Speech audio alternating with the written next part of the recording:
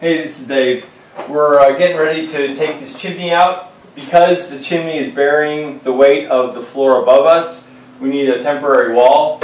And uh, we're going to show you how to build this temporary wall. Basically what it does is it holds the structure of everything that the chimney is now holding up.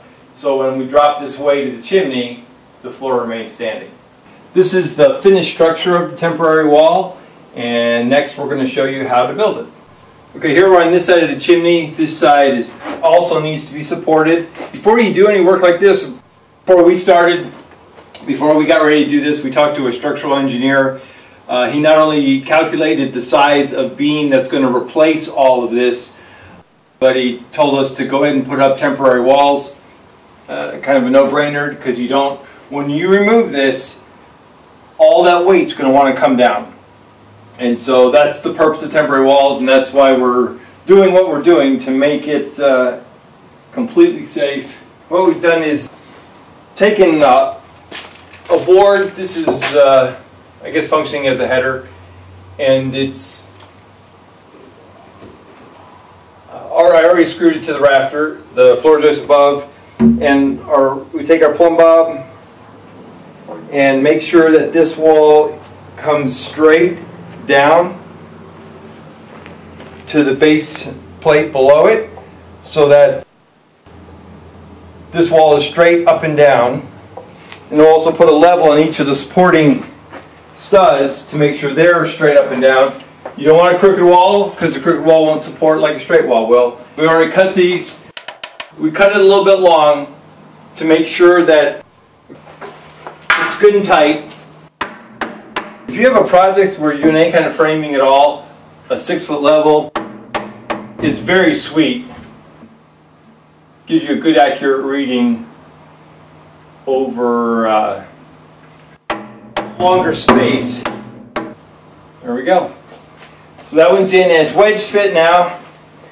And we'll take a couple, you can do nails or screws, tend to like screws because we're going to take this down a little bit. So and we just are toenailing these guys in.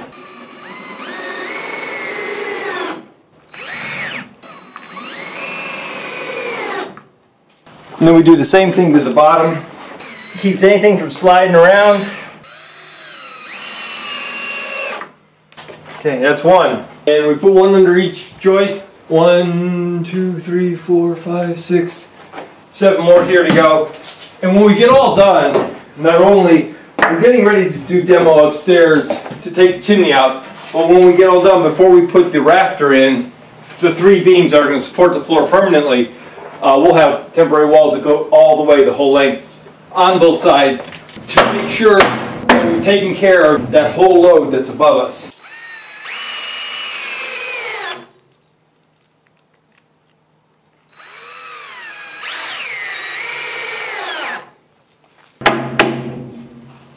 That's it.